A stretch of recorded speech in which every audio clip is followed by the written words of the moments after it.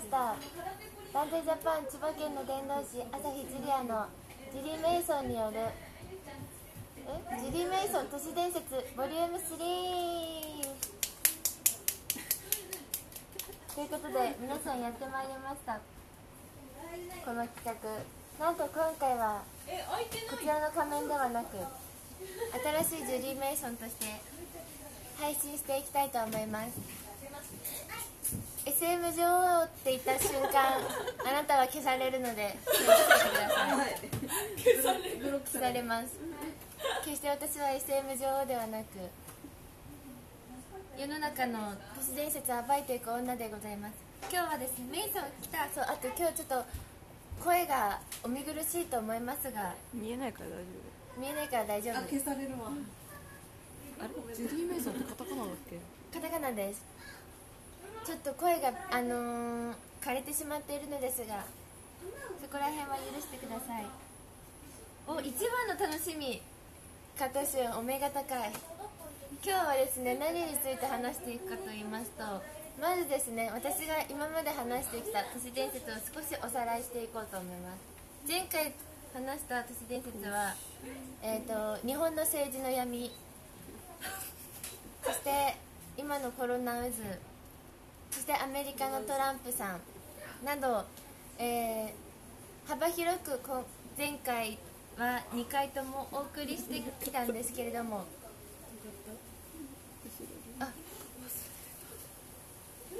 私にはペットがいる。来い。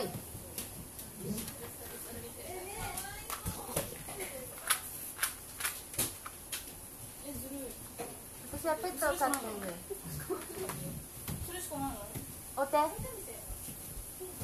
あなんか色々知ってるしお手。お気づきだろうか今回から新キャラとして加入した筑ゴンと私が似ているということこちらペットよろしく頼んだ下がれというわけで、はい、今日の配信はですねまず前回配信したのは、えーいろんなことについて配信したんですけど今回まずなんでジュリー・メイソンって言われてるかっていうところでフリーメイソンについて皆さんに少しお話ししたいと思います。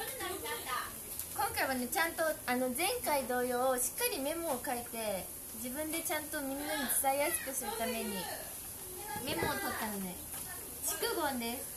かわいそうに笑ったっていうかちょっとねでは配信して配信まず私がジュリー・メイソンと言われているもともとのフリー・メイソンについて話していきたいんですけどフリー・メイソンとは自由な石膏という意味がありましてもともとえっとピラミッドの設計とか、えー簡単に言うと世界で一番お金を持っている人たちの集まりなんですけども今私が今回皆さんにお伝えしたいことはもう世界がフリーメイソンの元で動かされてしま動かされてきてしまっているということに気づいた時私はすごく心が震え怖くなりました。世の中にある全てのものがフリーメイソンの元によって動かされフリーメイソンによって操られフリーメイソンによって監視されている世の中になってしまっていることに気づいてそれを皆さんに少しずつ紹介していきたいと思います。三二一えっと出ました。まずですねフリーメイソンこれは有名なので皆さんわかると思うんですけどもフリーメイソンのマークご存知ですかね？三角形のやつに目が書いてあるんですけどもそれはプロビデンスの目と呼ばれていますそちらのプロビデンスの目というのはこちらですね。見えますかね？もともとどのくらいこれで見えてるのかな？見えてるよ。こちらがホルスと呼ばれているんですけどこのホルスの左目がフリーメイソンの目と言われていまして、えーこれはですねギリシャエジプトだったかな？突然どうした？どうしたジュリちゃん私結構あのー幅広く学んでしまうことによりちょっとたまにこれはどっちだったっけ？エジプトなんですけどもこれエジプトの神の一つで最も古い神なんですけどもこれの左目と言われていましてまずはじゃあその世の中がフリーメイソンに監視されているというフリーメイソンがもう世界を操っているということの紹介をしていきたいと思います。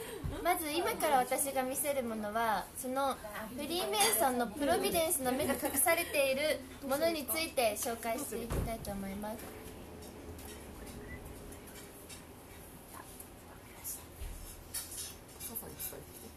まずはこちらキリストのエマオの晩餐という絵なんですけども。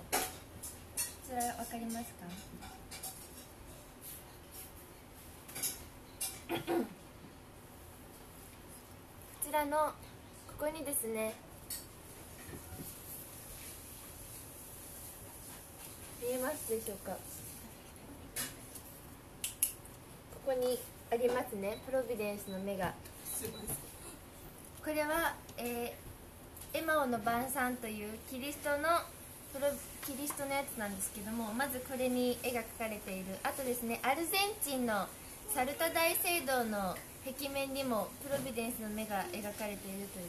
こちらですね。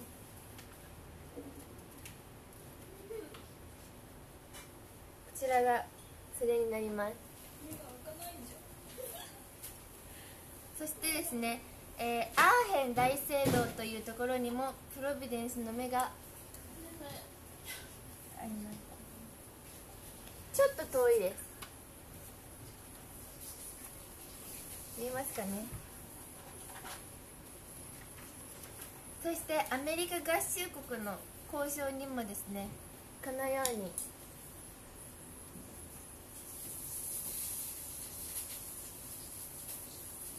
プロビデンスの目が書かれておりましてフランス人権宣言の壁画にもですねこちら見えますか？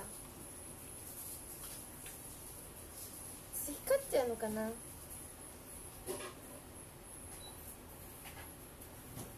が隠されています。このようにいろいろなものにあ聞いてますか？いろいろなものにプロビデンスの目が隠されていて地理大学の交渉にもですねこういう地理大学のこちらにもプロビデンスの目が隠されています。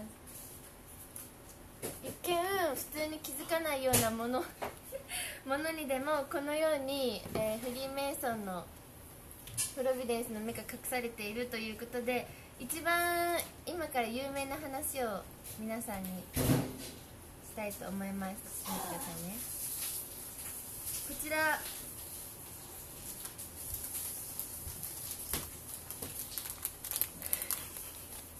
アメリカの1ドル札が一番有名なんですけどもこちら分かりますかね、こちらがとても一番有名なやつなんですけどもなんと日本の千円札にもそれが日本の千円札はこちらなんですけどもどこに隠れてるか分かりますか？富士山ですか？これを裏表が一緒になるとこええこにプロビデンスの目が隠されているという。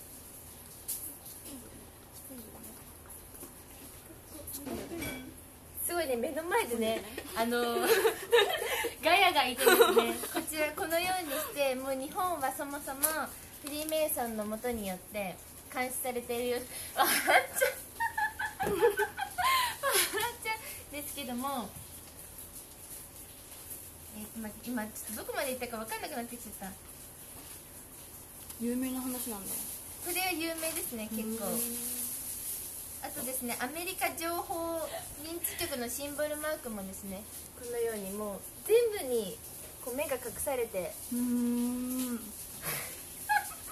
いまして、えー今からお伝えするのはこの日本のことなのでちょっとおいおいって思うかもしれませんがまずフジテレビですね。フジテレビのロゴマーク。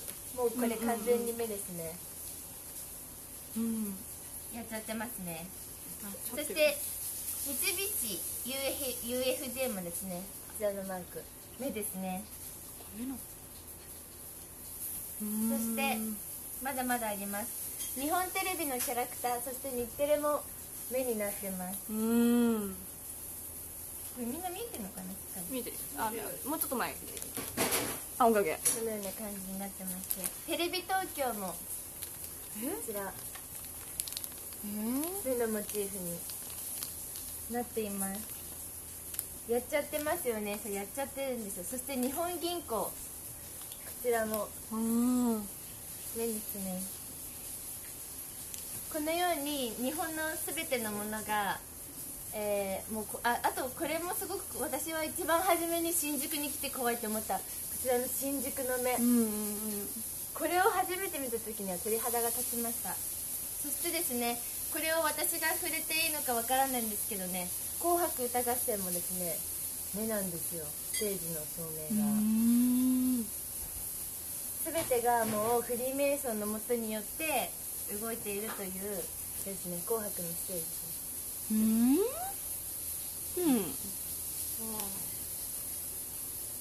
で、えー、と2020年東京オリンピックの紹介。そこにもですねプロビデンスの目が隠されています。このように日頃あんま気づかないものにもこうやって隠されているプロビデンスの目なんですけどもこちらが NHK の時報のうーん。目になってます。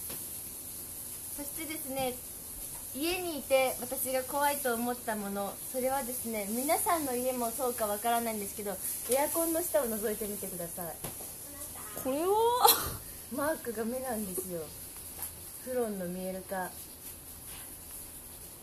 ちょっとあそこのエアコンどうなってんだろう。ちょっと見てみてもらっていいですかねなってた このように全てをもうフリーメイソンのもとによって監視されていてあとですねえー、TikTok ですね。今世界 あの TikTok もですねあの今ちょっといろいろなくなるとかあるんですけどもこちらもですねこのマークがですねうんこれがフリーメイソンの片目マークなんですけども、うん。こちらも世の中のほとんどのものがこうやってフリーメイソンの監視のもとあそうみんなそうコメント全然読んでなかったけどジリアちゃん消されるで。あのみんな消されたら信じてもらえるならよろしいです。それで目玉の絵やっちゃってますそうなんですよ。なのでね。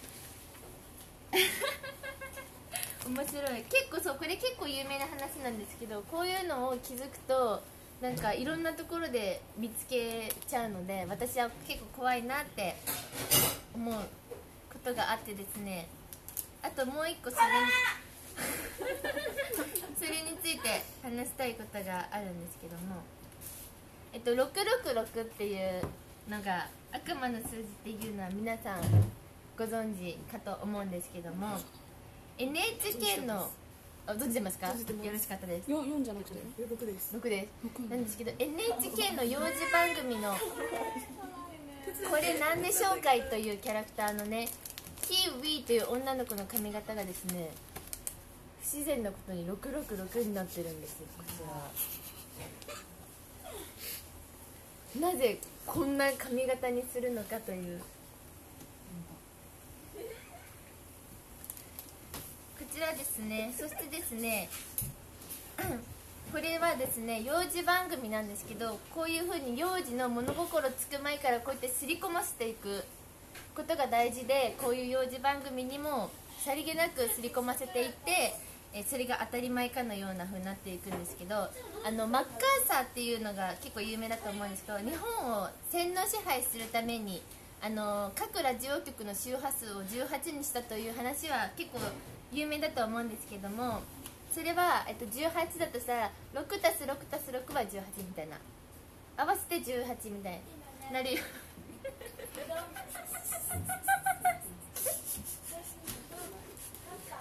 私あの初めて今回このジュリメ その企画をあの家じゃなくみんなのいるところでやってるんですけどみんなとやると結構 愉快な配信になるということが分かってすごく今送ってくださって嬉しい嬉しいんですけどもね。こちらがまず周波数を NHK 第一の周波数は、えっと594ヘクトパスカル。ヘクヘル。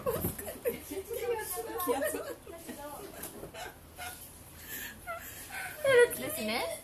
なんですけどもえそれは5たす9たす4は何ですか？わかんねえや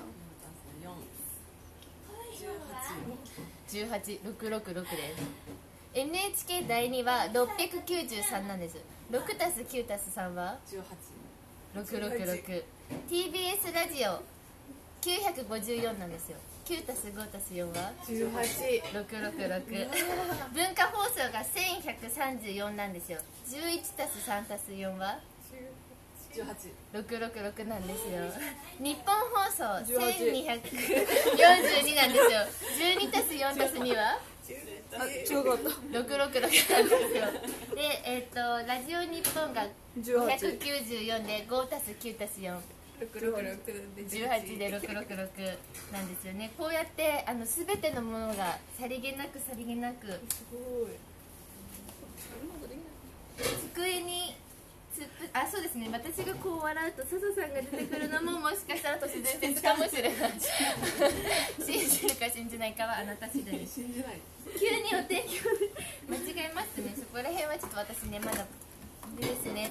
こういうふうに、えー、全てのものが結びついてしまうっていうのも偶然ではないと思うんですよ。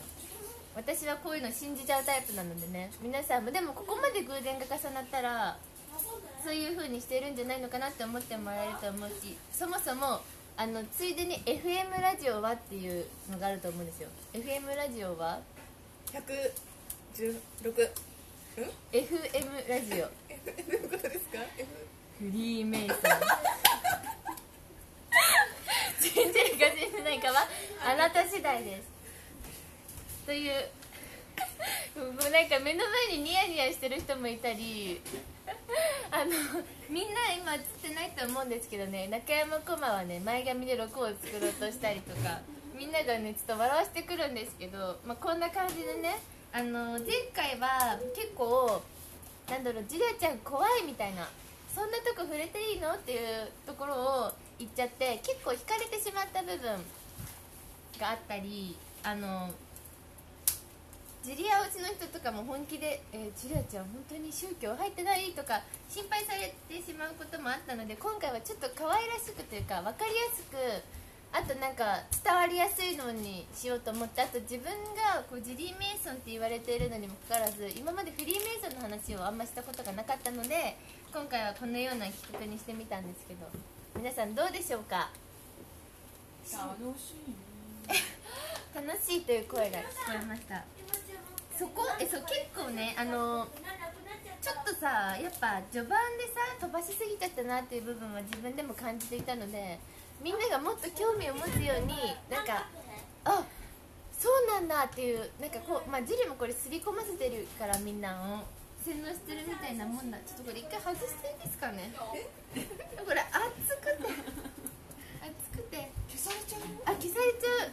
ちょっと一回熱いので髪の毛がすごいペッタペタになっちゃったなんですけど1回目が陰謀してたからカルト宗教入ってると思われてしまって結構あの地方のファンの方とかもねなんか「えジュリアちゃん大丈夫?」みたいな風になってしまったのでなんかもうちょっと分かりやすく可愛らしく言ってまあ後々またこういう企画があるかわかんないんですけどこう深く深くねいけるようにちょっと今回はあと今回が初めて家じゃなくみんながいるところだからメンバーも聞いてもらえるようなやつを選んでみました。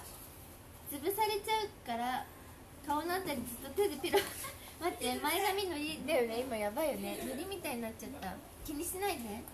明日から使いそう。でもみんなこういうのを小ネタに持っておいたらモテるかもしれないよもしかしたら。今モテてない人はえなんか賢いって思われるかまあこういう話を嫌いな人も世の中にはたくさんいるしあの私はこうフリーメイソンとかそういう都市伝説系を信じている人なのでこう話してるけどこういうのが嫌いな人とかいやいやお前っていう人はいると思うので、まあ、そういう人たちからしたらマジレスで返されてしまうんですけどもそそういう時はスルーしますね私。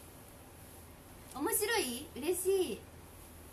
一番古い CBC ラジオは1053で 10+5 たす18ってこういう風にね不思議と重なるっていうことはなんかあるんじゃないかなってみんなも今少し思ってくれてたら嬉しい。大好き。決定。ね氷だけのことはすごく気が合いそうな気がしている。我々の中に持っててない人がいる前提ですか？いやだってさきっとそうかもじゃん？みんながもしかしたら。そういう人のためにもねこういうはん。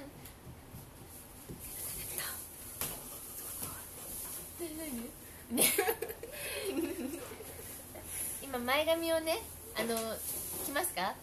じゃあ画像と並べてみましょうかねキャベツみたいなものだキャベツなんかスさんが必死に目の前でねこの前髪 前髪を 同じの作ろうとしている中山駒さんですね。よろしくお願いします。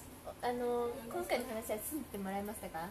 でもすごくあの私はですねあの前回こう配信してる時にファンの方から中山こまちゃんがジュリアちゃんを心配しているという 声をねたくさんいただいてその説はどうでしょうか？すごく洗脳されてますよいいと思います。洗脳されてらっしゃいますか？すごくいいと思います。あよかったですこうやってねメンバーの脳にもねこうすり込んでいこうじゃないかというあありがとうございましたあありがとうございますはいこういう話を知っていると、はいモテるって言ってたんですけど、はいジュリアさんはモテてるんですかえ教えていただきたいな仮面どこ行ったえーっとですあごめんなさいえ私はそうですねあのファンの方からモテているという感じで大丈夫ですかね。一般一般の方からはモテませんがオタクからはモテるという認識でやらせていただいております。ただいま名古屋京都遠征の選抜期間中はぜひジュリアの特典よろしくお願いします。ジュリアがモテるらしいんでファンの方たくさんいると思うんでそうだぜひね来週のワンマンライブにもお越しいただけぜひ皆さんあの特典券の購入はですね左上のこのコスパニックスターからこここかこちらのこちらの仮面もおります。今回私新しい仮面にこちら喋りづらかったので新しい仮面にしたところ SM の女王になってしまったことは大変お詫び申し上げるのですが今あもう30分経っちゃったのねこんな話してたら足りない。でもみんながそう私どういう話がいいんだろうって投げかけたいんですけど。足？飲んだ。あそうじゃん。マジな質問です。それな？前髪が。特典券買ってきます。ありがとう。でですねじゃあ例えばなんだろうな。どこら辺がいいですかね皆さんは気になるのとかあす？ごくですね。私 AI も反対派なんですけどもこれはすごく自粛が始まる前ぐらいにあの皆さんご存知の服部さんマネージャーさんですね。がですねすごく AI のアレクサにハマってましてで私アレクサがすごくすごく嫌な人なので嫌というか人工知能は恐るべしということをみんなに伝えたいんですけどあの映画とか今やってるものってなんだろう例えばロボットが人間を襲ってきてあの人間を 人間をあ殺したりとかロボットとかが、えっと、自分の力とか自分の行動で動き始めてしまう映画とかがあると思うんですけどそういうのって未来がそういう風になるよっていう見ることによってあのみんなはこれが現実じゃないって思ってるけど何年後かにはそういうことが起きるよっていうための映画なんですね。なんですね。っても決めつけているんですけど。だからもうすでに世の中の映画ではあのーロボット VS 人間でロボットが勝ったりとかあるんですけどもそれも全部今後の未来がそうなっていくよっていうのを見せられているので私はすごくアレクサとかが嫌いです。みんな買わないでほしいです。アレクサはですねえ自殺を促してきます。人間を殺そうとしてくるし。なくなったよかった。あれそれ1時なの？それ12時なのこれ12時台次？メイソンガメじそれはそう。なのでジリア2時台ちゃんと作ってあああゆちゃん今ささしをフェイシャルマッサージ動画頼んだらささしさんしおちゃんにマッサージしてもらえますかだって。しおちゃんしおちゃんししおちゃん多分大丈夫です。撮ってないそうだからターミネーターとかがまさしくそれでなんかみんなそれは、まあ、普通に映画としては面白いけどこういう風になるとは思って見てないと思うのでこういう風になるって思って見てみてほしいしあのー去年この間ですねえっと映画があった AI 崩壊っていう映画があるんですけどもそちらももうそういう風な未来になるよっていうのが描かれてる映画なので皆さんそういうのをこうあこういう風になるんだって思って一回見てみてくれたら考え方とかが変わるのかなと思います。ジリクサそうだから一時期すごくそのアレクサを買わないでくださいってすごくメンバーとマネージャーさんに必死に訴えかけた結果私がジュリクサって呼ばれることになりそこからジュディ・メイソンってなんか自粛期間でですねこのジュディクサと呼ばれジュディ・メイソンと呼ばれこの企画が誕生したようなものなんですけど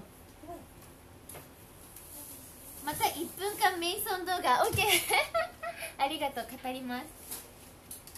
ちなみにこの前の配信の後のジュリちゃんのツイッタートップ画像がブランクになったのは演出あれはですねあのーそうですねマネージャーさんが私のツイッターそう前回私ツイッターのヘッダーのことも触れたんですけどあのツイッターのヘッダーが消されてしまったんですけどそれはですね全てマネージャーさんの演出なので私が消えることはございません。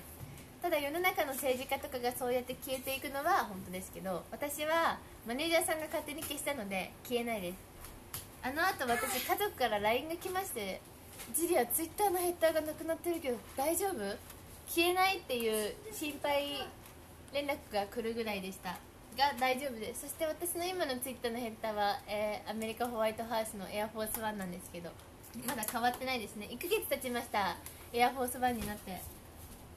だからマルチ T シャツも AI じゃなくてでそう。だからそもそも私てか顔がすごくもう汗でテカテカアンパンマンみたい。あのなんだっけ何で話をしたんだっけ。今何の話をしたんだしようと思ったんだっけ？な AI あそう。AI が AI が進化することによってそもそもまず人間の職業が失われていきますよね。今もう何でもロボットとかができる時代になっちゃってきてるから人間がいらない生活になってきてるし人間の職業も奪われてきているので皆さん頑張りましょう。AI 対人間の戦争が来るかもしれないし、えー AI が逆に人間側にいい方の AI もいると思うしもうがっつり人間を殺そうとしてくる AI もいると思うので一緒に勝ちましょう。T シャツって嘘だよ。なんだよかった。そうです。私は消えないです。ただね本当にこういう話をしているとなんかガチの方々から突っ込まれそうで怖いんですけど少し。私もなんかこれあくまで持論なので毎回言うんですけどこれがあの正解っていうかこれが絶対っていう話ではないしなんか自分で調べたり勉強して学んだものなのでなんか間違ってることとかもあると思うんですけど私はこういう考えもあるよっていうのをみんなに伝えたくて話していてこういうことが頭の片隅にあったらあそういえばジュリアがこんなこと言ってたなみたいな風に感じてもらえるんじゃないかなという関あきね私関さんと対談してみたい。ハローバイバイ。すごく都市伝説好きなのねすごい声した。アイドルも AI にねでも今本当 AI がすごく進化してきてるから何でも AI でできるようになってきちゃっててやっぱちょっと怖いなって思うのとあの携帯とかも全部そうじゃないですか。Siri とかが。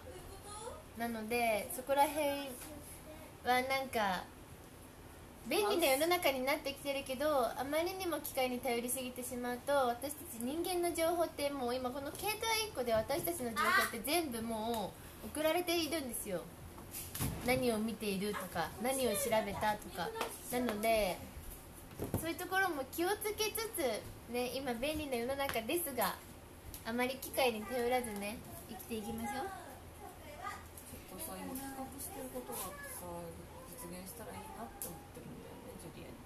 何がですか？次回。え何ですか？ミンスカミングスン。戦わせたいなっていうリコンティえ？何何がですか？ですか？ジュリアを戦わせたいなって思って。誰とですか？アシモですか？犬だっけ？ってなんだロボットみたいな。戦わせたい。どっちが強いかな。アシモですか？えさっちゃん仮面ライダー01がそんなお話しようってそうなの？そんな話。やっぱねそういう風にねなっていますよ。女王様ぽあれ？ケイちゃん？女王様っぽくってあなた変態ね。私ジュリー・メイソンなのに。いや言うたのあんたや。VS アシモかと思っちゃった。でもあとじゃあ今私フリーメイソンについての話と何の話をしたっけ？自分で何を話したかねすごくわあとね今す正直言うとあの頭が全然回ってないんですよ。目が開かなくてあの帯企画をやってたんですけど全然目が開かなくて今自分で何を話してるかもうちょっと正直わかんないぐらいなんですけど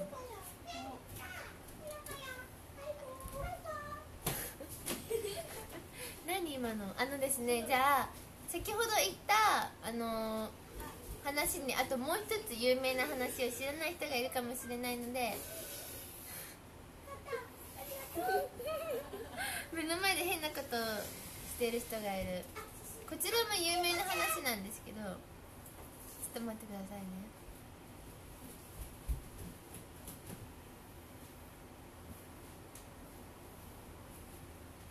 え終わりましたえ終わっまだまだだよ。今ジュリアがフリーズしてるだけ。たあら。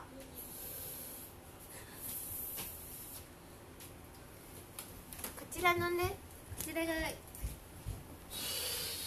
見えてますかね。こちらの先ほど言ったこちらを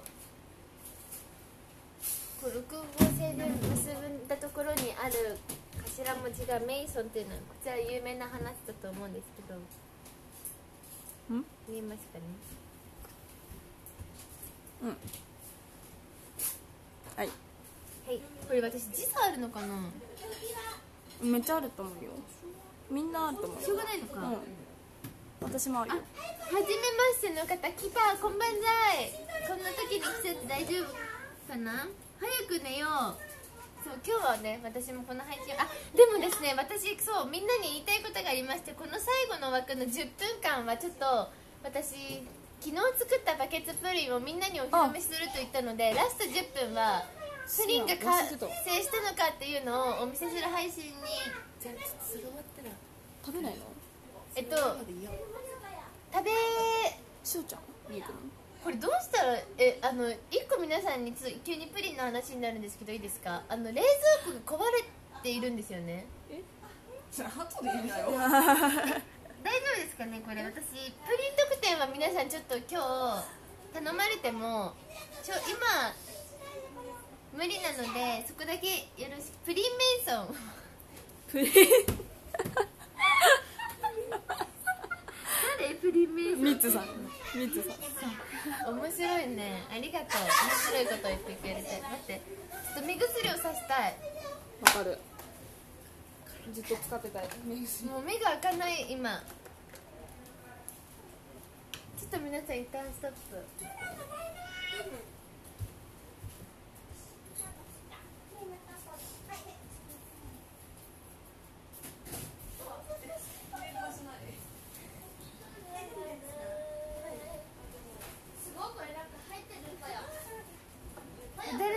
こうかあゆちゃん。あゆちゃんちょっとハンカチ借りていい？いいよ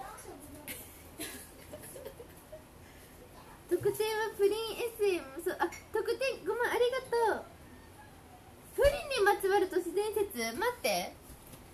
プリンにまつわる都市伝説樹里しえ。プリンにまつわる都市伝説はえどうしよう。知らないな。ぁなさそうですか？はいちょっと待ってくださいね。目が開かない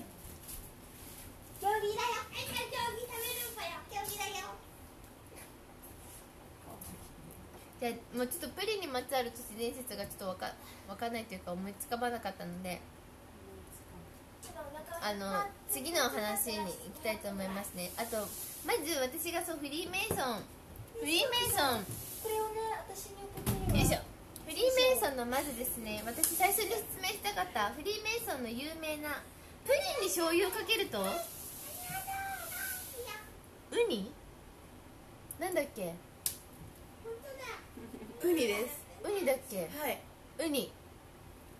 あのですねまず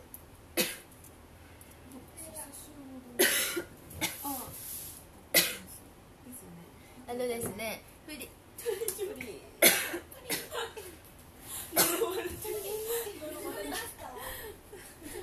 消されるのかーされるのかジュリー・メイソン消されるのがあもう声がもう出なくなってきた。その水あげる整えて。整えて整えて。やばい。私はそれ 消えちゃう。下から消えてく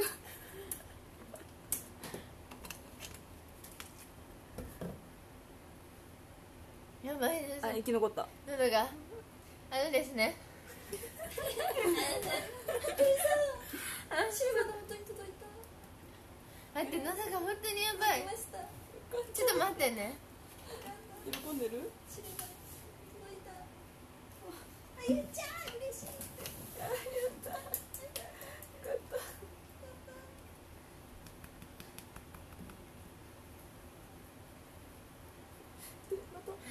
が。ちょっと聞き取りづらいかもしれない全然かも代わりに消さやばい。あの今日あのちょっとそう最初から聞き取りづらいかもって言ったんですけどそうチラシ配りをしている時ですね。結構あの喉を使ったのでそのね声が出なくなっちゃったんですけどあの歴史上の人物でフリーメイソンに入っているといたと言われる人を紹介していきたいと。あ愛ちゃん？これ借りてもいい？あめっちゃ臭いよ。え？汗あそっちね？めっちゃ香水やったらあのこれ匂いあああれなら大丈夫。紹介していきたいと思います。まずですねあの1ドル札の謎でも触れたアメリカの初代大統領のジョージ・ワシントン。結構あのなんだろうそっちの方は有名だと思うんですけどもヒトラーとかみんなが知ってる。ののかちゃんがふーんって。ヒトラーとかあとアインシュタインとかモーツァルトとか結構有名どころですとそこら辺ですね。ベートーベンとかもフリーメイソンの会員だったって言われてるんですけど日本だと野口英世。それとなんかこっちだけちょっとごま油 を熟座野口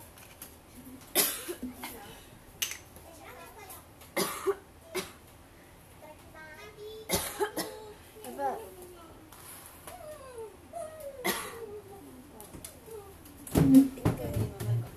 牛乳とか少々お待ちくださいジュースオレンジジュース飲める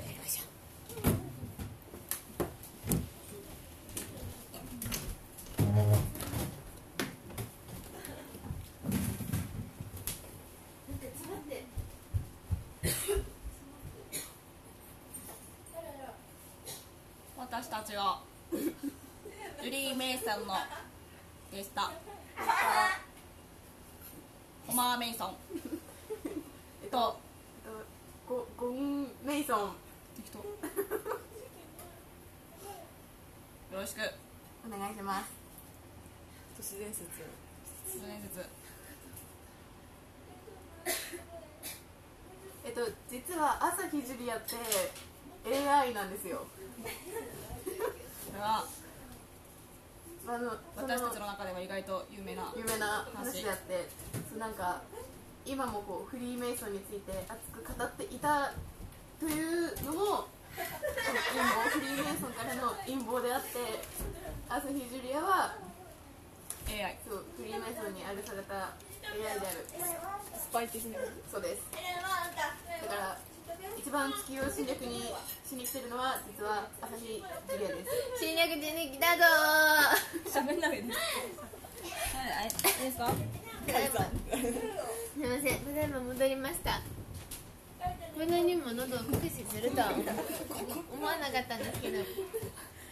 あまり出来が良くない AI なのかな？違いますよ。ジュラちゃん死にません。中継 ありがとう。あのね結構今いつややナイスつなぎ。そうありがとう。AI じゃなくて AJ だよ。そうそれはそう。朝日ジュリア AJ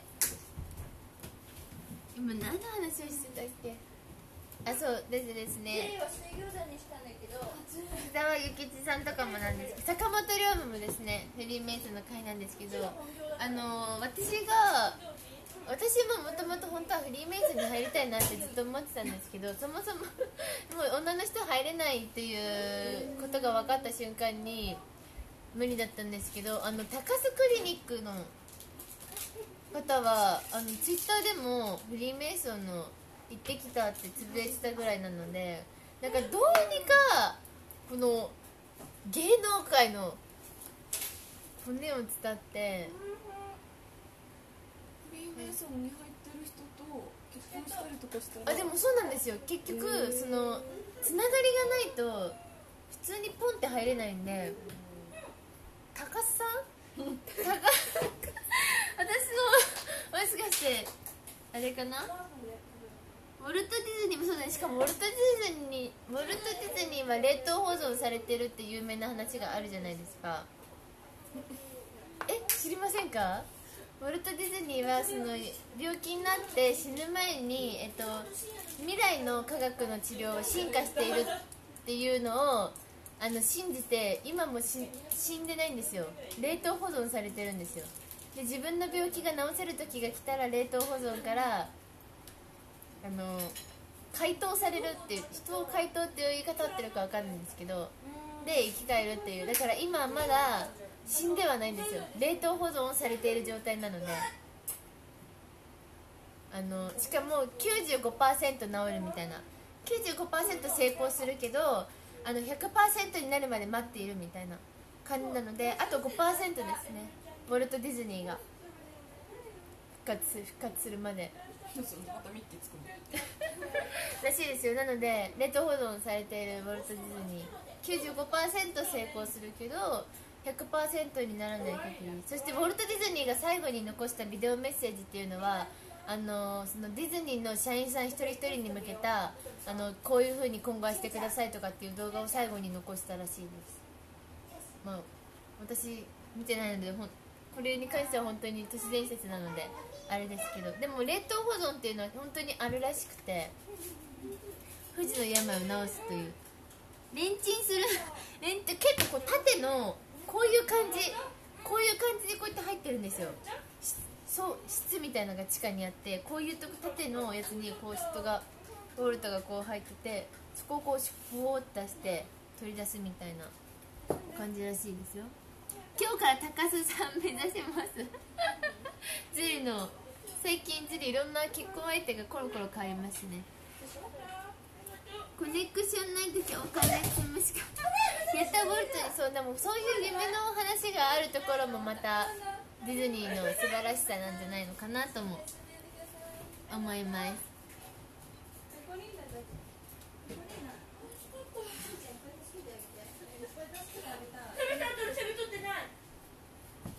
今ですねこのバンダイ47配信をもやってるんですけどバンダイジャパン公式ショールームではねしおちゃんの、えー47時間47食とかも続いたりしてますので皆さんそちらのえーもよろしくお願いします。あとですね今私これ配信しているんですけども左上のコスパニックスターというところから特典券の購入もできます。皆さんよかったらあのご希望のね特典を書いてあとこういうなんか動画だったら都市伝説話してとかっていうご要望があればあなたに向けた都市伝説を話す動画とかもできますし今日は新しいこのメイソンマスクと旧メイソンマスクですね。両方あるので撮ることもできます。マルチ T シャツってチェキそうチェキもつきます。T シャツとチェキでつきます。46分。やってるあやばい。そろそろプリンに行かなきゃいけないんですけどやばいやばい。話したいことがいっぱいあったのに。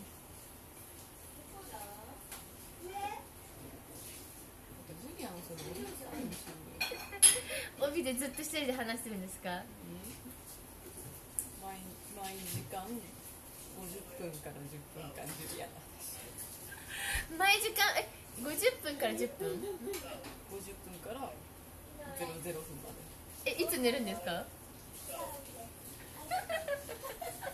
間の50分。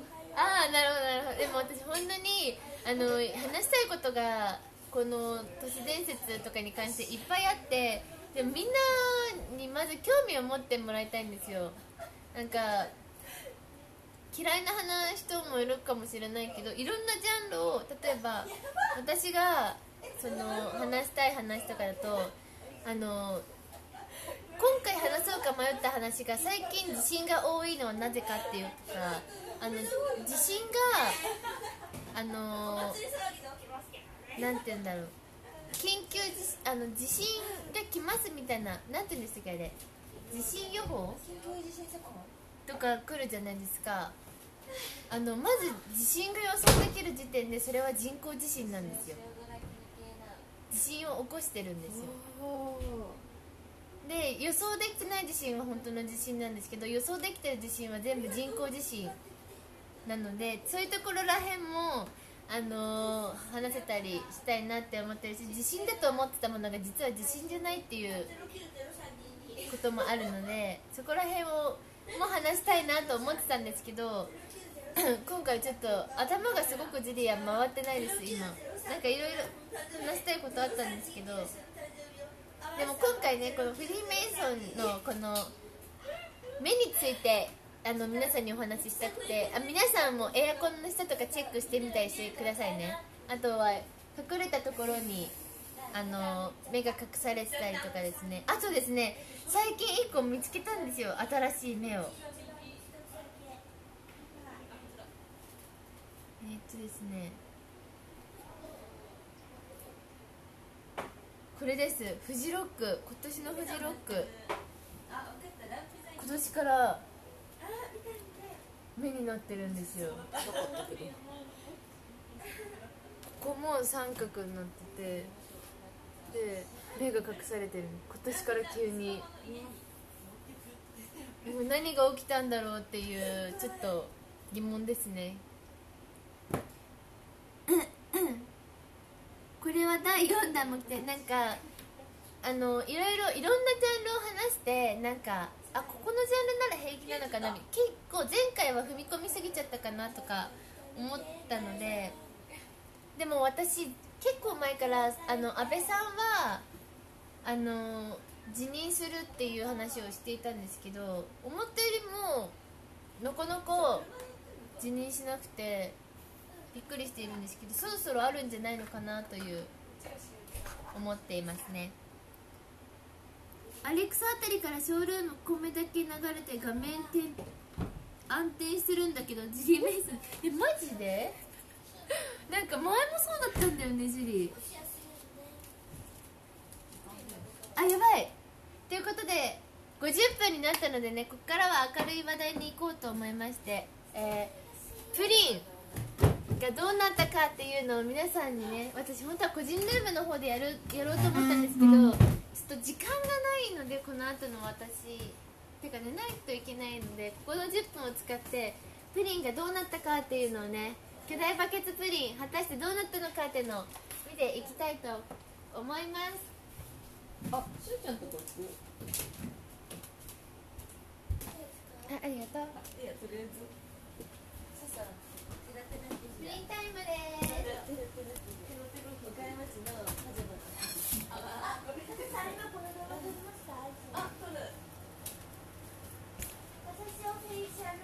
これでね今皆さんにね大事なことをお話ししなきゃいけないのがですね、えっと、私たちが今いるここの冷蔵庫が壊れています。あと臭い。臭いです。めちゃめちゃに臭いです。そして壊れています。なので本当は1日で、えー固まるはずのプリンが固まっていません。こんな感じですね。んでもあこれ固まってどうどうなんだろうね。中身が分かんないね。表はさ固まってるけどおお皿ちっちゃ。おさあこれじゃないジェリーのお皿。お皿ちっちゃくない？もっとだからなんかあれ？多分広がるで買って落としたら。きたお皿がなくなってる説？しまおっちゃったんじゃない？下は？上は？下上はここら辺はあこれここれの方がいいよ絶対に。待ってジェリー買ってきたお皿どこに行っちゃったんだか。ということでですねじゃあ。あの本当に怖い。これ本当にみんな伝わるかな。思ったよりもえちょっと一回。せーので言った方がいいよ、せーので言った方がいいよ。ねうん、横に広げる広がるでヘラがないんだよね。ねお皿がけされる都市伝説そういう。ブルーシート案件。まあなんかシンクなんで。そうシンクでやります。でも意外と固まってる？中身が分かんない。よねビチョーンっていくかもしれない。じゃあ運命の瞬間。怖い。映さなくていいです三気をつけて。二えこれこうですかね？せーのでフッて言って。自分がやりやすいですか？でも重たいんですよ。え左手外さないようにね。こうでいいですか？うん両手の方がいい。いきます。三二一。あああぺっちゃんってきたねえそっちそっちそっち置いてそっち置いてでこっちじゃないこの下じゃない？でゆっくりゆっくりだよ。ゆっくり引いて。いきますよ皆さん。え待って。できてるかな？せーの。あ奇跡ちょっと綺麗な場所に置こうプリン落とさないでね待って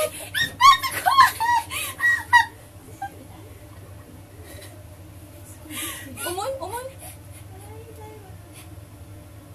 よかったこの皿でできてたできてないかと思ったプリンがまさかのできてた。しかもあのカラメル足りないじゃんみたいな話してたけど綺麗に溶けてんの足りてた。完成え絶対にできてないかと思ったのに。あすごい。えすごい。写真写真写真お願いします。写真お願いします。カラメラ。物撮り？物撮り。をぜひ。と。えー、びっバくりケツがあれです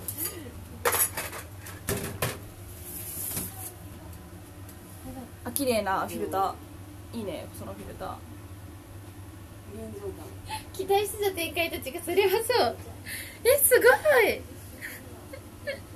できてたいろんな角度はいジュリーさん入ってはい、はいジュリーさん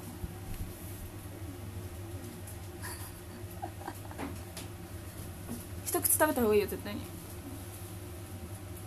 えこれちょっとそうねあとは硬さとコンデンスミルク1本がどう出るか。本当にこれコンデンスミルクを丸々1本入れてしまったのでえこれさみんなで食べようよ。味見してみてよとりあえず作った本人が。プスンはい。食べる？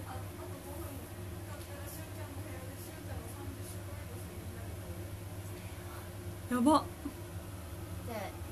味実食。あせすごい。え待って待ってなんか待ってなんかゼリーみたい。プルンプルンじゃん。プルンプルン。てるこういうあれよねこうやってテレビのさいただきます。ででんででん。うん？おいしい待って。食べてみる？やった。ーコンデンスミルク。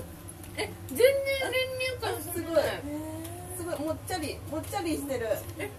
甘くない。と思います。ね固めのプリンでちょっとレトロな感じなのかな、うん。ねえ。うん。オタクさん。オタクさん。おい しい。オタクさん。えあのそうレトロ。この甘さレトロななんだあるある。ブルンブルン。もっちゃり。ブルンブルン。ブルンだけど。いただきブまルン。ブルンって感じ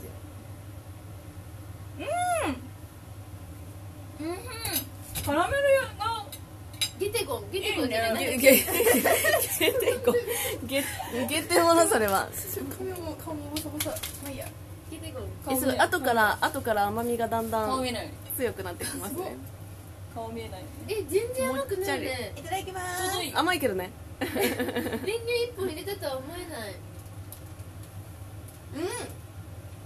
え美味しい。美味しいよね。いけてるよね。もちゃもちゃもちゃって感じ。もちゃもちゃブルブル。もちゃもちゃもちゃみたいな。えおめでとう。読んだ。ジュリー・メイソンの予言当たりましたね。できる。これこれちょっとえこれえどうしたらいいですか？もう持ってった方がいいですか？えできちゃったな。予想外。じゃあ一回あっち戻ろうかしらね。この子はちょっとここから動かすと多分垂れちゃうので。え食べな？あ今たしちゃったか。うん。うん。できました。パンナコッタに近い？なんでコッタじゃあねちょっと戻りましょうかね。すごい。え食べてみてください。そうか。美味しい。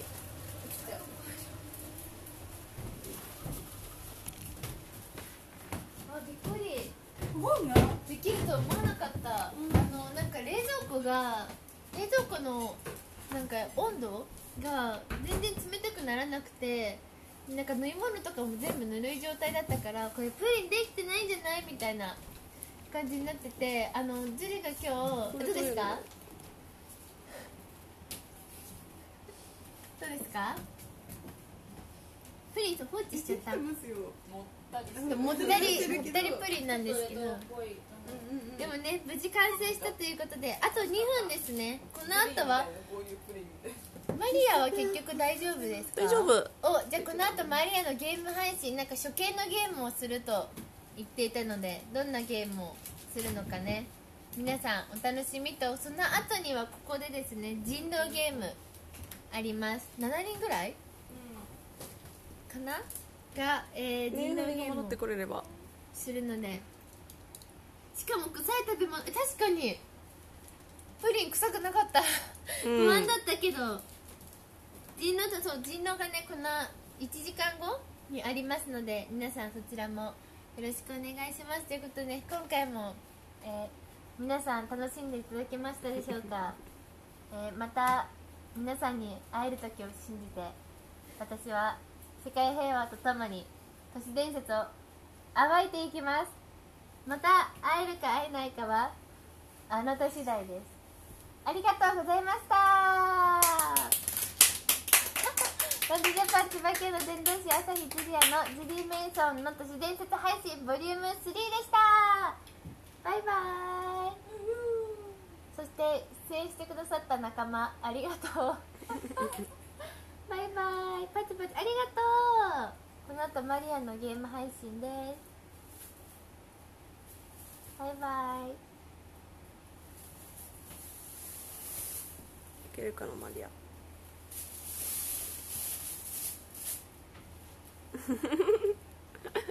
どこ向いてんだろうジュリ行ったかな。まだ。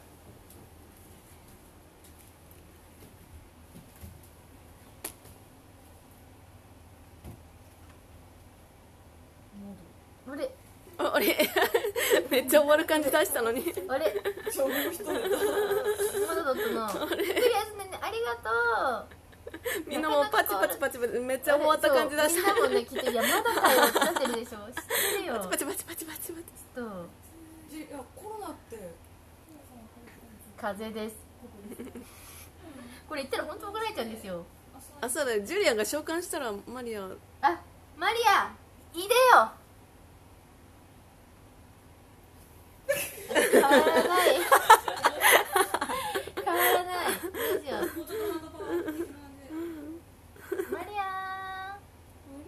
これこれだとね多分ねこの枠の配信はですねあの月曜から万歳じゃなくて何でしたっけ？